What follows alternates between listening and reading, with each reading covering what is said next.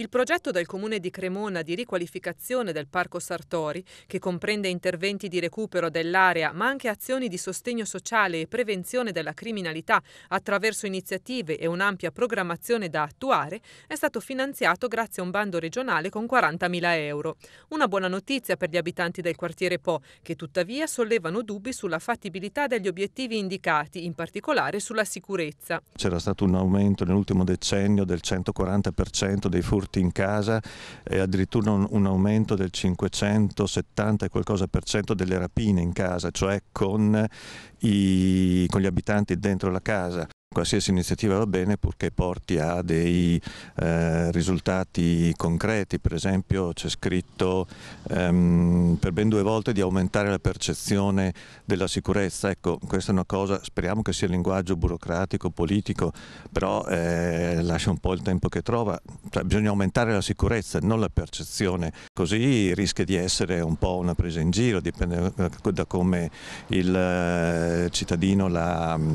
la vive. I piccoli interventi non vadano dimenticati. Il Comitato ribadisce una semplice richiesta, l'attesa sostituzione della rete che delimita lo spazio giochi dei bambini. Le richieste sono quelle di rimettere a posto un po' i giochi per i bambini, eh, di cambiare questa rete che già l'ingegnere Pagliarini più di un anno fa aveva promesso che avrebbe cambiato, ma è ancora questa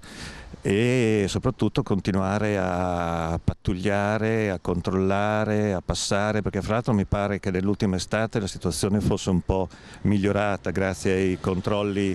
costanti e le forze dell'ordine credo che facciano quello che possono. I residenti sollevano poi dubbi e critiche verso l'obiettivo del progetto che parla di inclusione sociale delle diverse etnie anche con la presenza di operatori appartenenti a gruppi di cultura rom e sinti e attraverso il coinvolgimento di associazioni, oratorio e mondo del volontariato. Fare un progetto che integri, che metta a confronto le varie etnie, varie culture eccetera in modo da creare relazioni, attaccamento alla città, eh, ma eh, siamo sempre lì, vogliono davvero essere attaccati alla città, vogliono davvero integrarsi eh, con noi italiani oppure no, ecco questo non lo sappiamo. Si attende la convocazione di un nuovo incontro per chiarimenti, altro nodo che rimane da sciogliere la viabilità e alcuni sensi unici critici come quello di Via Chiese.